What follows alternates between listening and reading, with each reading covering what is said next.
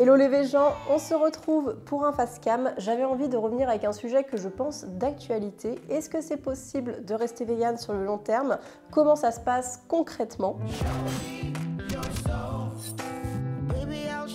Parce que récemment, même si ça fait plusieurs années qu'on voit ce type de témoignage, j'ai vu passer sur les réseaux des contenus de plusieurs personnes disant avoir lâché du lest sur le véganisme, notamment au niveau alimentaire, et euh, avoir repris du coup des produits d'origine animale. Alors je précise dès maintenant que mon but n'est pas de blâmer ces personnes, surtout celles et ceux qui ont des TCA, donc des troubles du comportement alimentaire, et pour qui l'alimentation végétale ne convenait pas. Ça, je ne peux évidemment pas juger, mais avec cette vidéo, j'avais envie de vous apporter mes réflexions après bientôt 8 ans de véganisme pour toujours vous conseiller au mieux et faire en sorte que vous adoptiez ce mode de vie à vie. En plus, ça tombe bien parce que le challenge Veganuary du mois de janvier est passé et on est en droit de se demander et qu'est-ce qu'on fait après? J'ai divisé cette vidéo en deux grosses catégories, la partie sociale, la partie alimentation, parce que je pense que ce sont les deux freins qui peuvent poser problème pour rester vegan sur le long terme. On commence par la catégorie sociale. Devenir vegan n'est pas la meilleure idée pour améliorer ses relations sociales, et ça je pense qu'on est tous et toutes d'accord avec ce point, mais j'ai envie de dire que c'était pas l'objectif de base. Mais oui, on va devoir notamment faire face à de vives réactions, on sera certainement moins invité qu'avant parce que tu comprends, c'est dur de te trouver quoi te faire à manger, pour les sorties, c'est pareil, à moins d'habiter dans une grande ville et encore, les restaurants VG ne courent pas les rues. Et aussi, de nous-mêmes, on peut avoir tendance à s'isoler, à ne pas vouloir euh, aller à cette raclette partie où tu sais que tu seras le seul vegan autour de la table. Etc, etc. Tout ça, je le connais, je le vis, et justement, vous n'êtes pas seul à être comme ça. Donc, avoir un entourage ou une partie de son entourage, du moins, qui est VG ou au moins extrêmement compréhensif sur ce point, ça aide beaucoup. Bon, de toute façon, depuis deux ans, niveau social, c'est difficile pour beaucoup de monde. Mais même sans ça, la vie fait que parfois, c'est difficile de rencontrer du monde. Voilà, pas le temps, pris par le boulot, pris par la famille, que sais-je. Ce que je vous conseille, si vous sentez le seul VG de votre ville, c'est d'intégrer une association, d'aller à des événements VG, de regarder aussi ce qui se passe du côté de Vego Resto qui organise des, des rencontres dans les restaurants dans différentes villes de France. Et pour trouver des restaurants, d'ailleurs, n'oubliez pas, les sites ou applications Vego Resto et Apico sont vraiment très pratiques. J'en parlerai régulièrement, mais en même temps, c'est un indispensable pour sortir. Également, parfois, les échanges numériques amènent à de vraies rencontres, de vraies amitiés dans la vie, si, si, je vous assure. Donc n'hésitez pas à suivre des VG sur les réseaux, à interagir, à poser des questions. D'ailleurs, moi-même, j'essaye de répondre à vos questions au maximum, surtout les questions quand vous débutez et que vous êtes un petit peu perdu. Également, ce que j'aime bien organiser, ce sont des meet-up. J'en ai fait un à Clermont-Ferrand, j'en ai fait aussi à La Réunion. Je ne peux pas en faire aussi souvent que prévu vous savez très bien pourquoi. Tant pis. Pourquoi j'aime organiser des meet-up bah, Évidemment déjà pour vous rencontrer et passer un bon moment et discuter en vrai, mais également parce que entre vous, il peut y avoir le feeling qui peut passer, des contacts qui peuvent s'échanger, et ça c'est chouette, c'est beau à voir.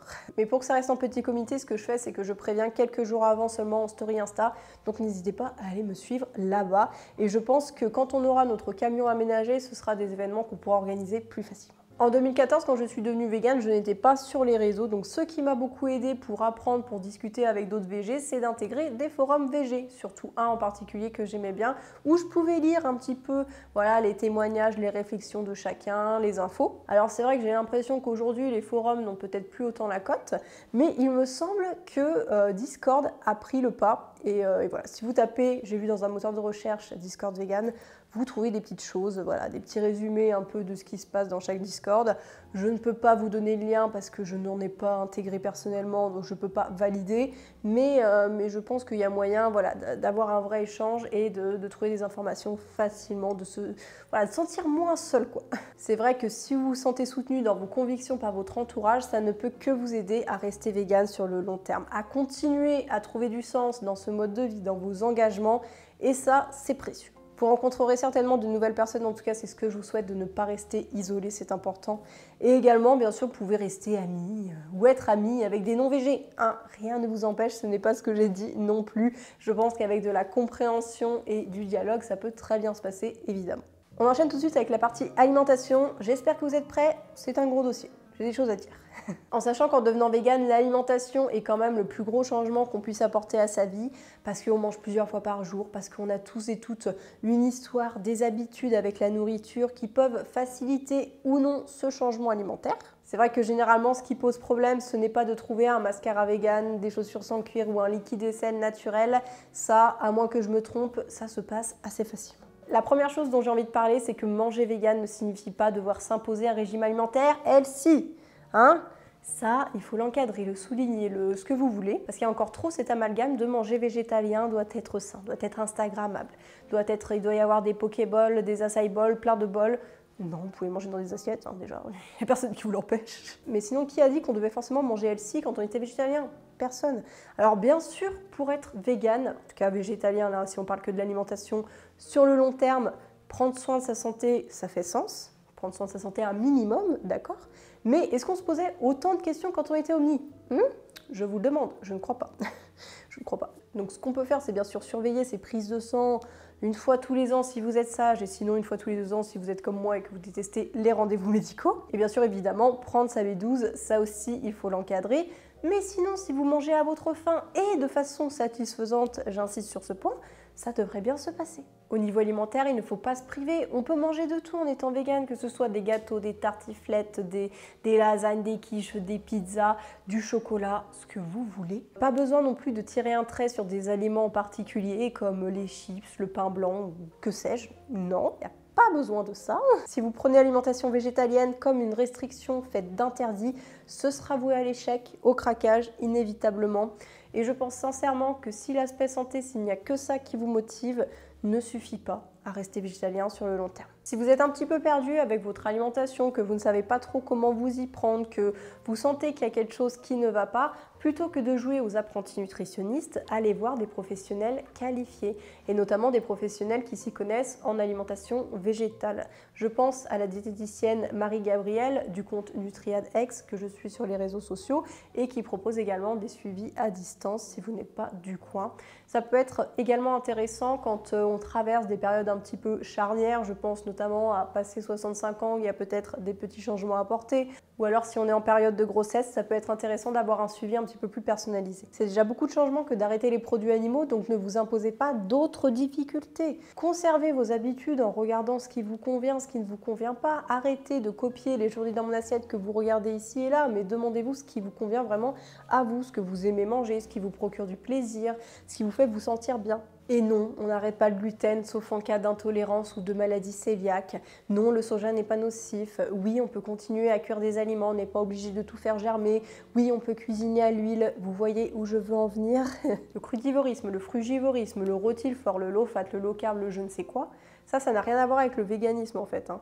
Et ce sont juste des carcans lors de vos repas qui peuvent doucement vous amener vers une frustration et également engendrer doucement des problèmes de santé. Alors là, désolé pour les personnes à qui ça ne plaît pas, mais je vais dire les choses, mais on a tous ces crudivores en tête qui prétendaient avoir vu la lumière et qui un an après vont mettre de côté toutes leurs certitudes et bien sûr casser du sucre sur le dos des véganes ou du véganisme en règle générale, alors que personne, mais absolument personne, ne leur avait dit qu'il fallait se nourrir que de jus.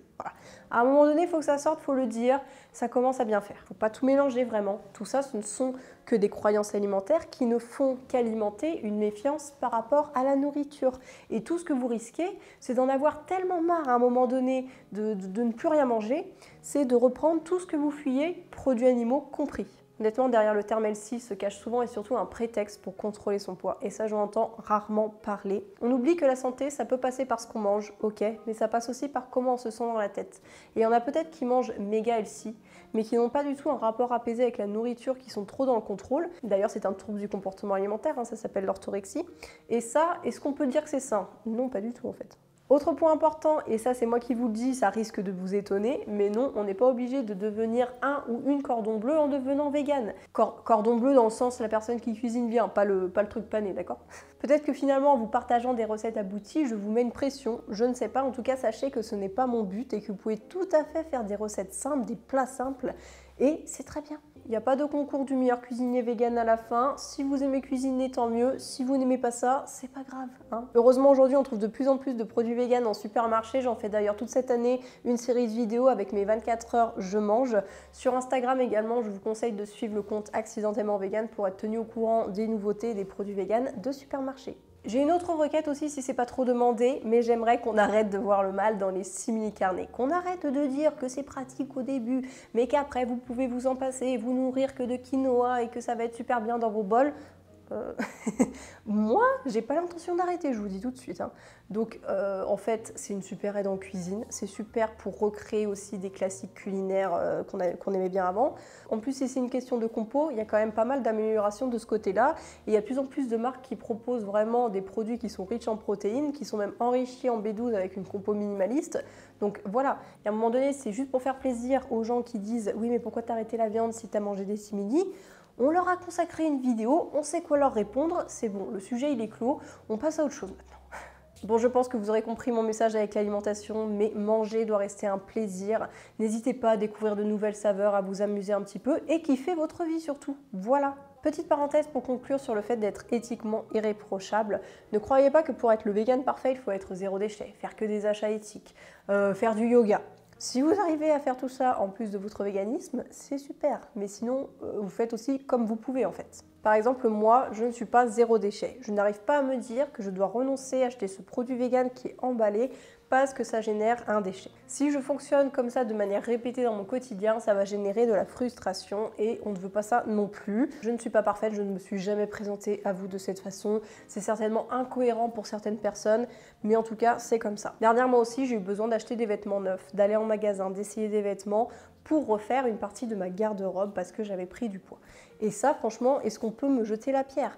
Quand je vois, voilà, c'est facile hein, de parler de mode éthique quand ton poids il n'a pas bougé depuis 10 ans et qu'accessoirement tu fais du 36, mais quand tu as des variations de poids, euh, tu peux pas refaire toute ta garde-robe avec euh, des, chemises en tencelle qui coûtent 100-110 euros la pièce. Et pour l'occasion, il faut trouver aussi les bonnes pièces, y passer du temps, etc. Alors ça ne veut pas dire que je ne consomme plus éthique ni d'occasion pour les vêtements, ne me faites pas dire ce que j'ai pas dit, mais à ce moment-là, ma réalité c'était de trouver des vêtements qui maillent et dans lesquels je me sentais bien et c'était comme ça.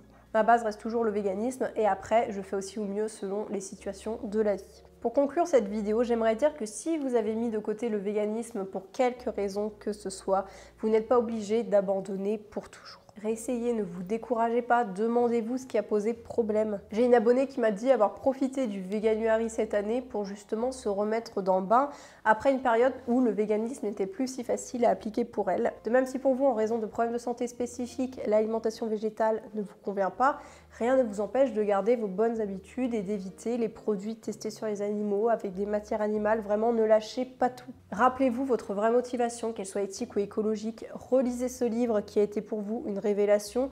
Re-regardez ce reportage qui vous a informé des réalités de l'exploitation animale. Des petits rappels comme ça de temps en temps, ça ne peut pas faire de mal.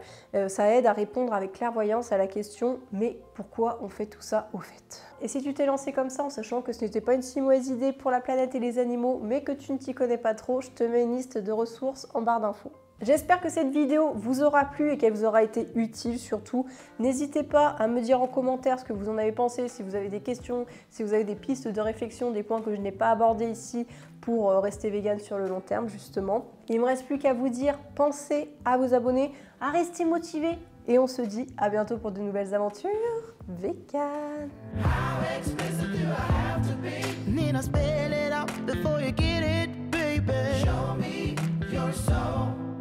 Honey, I'll show you.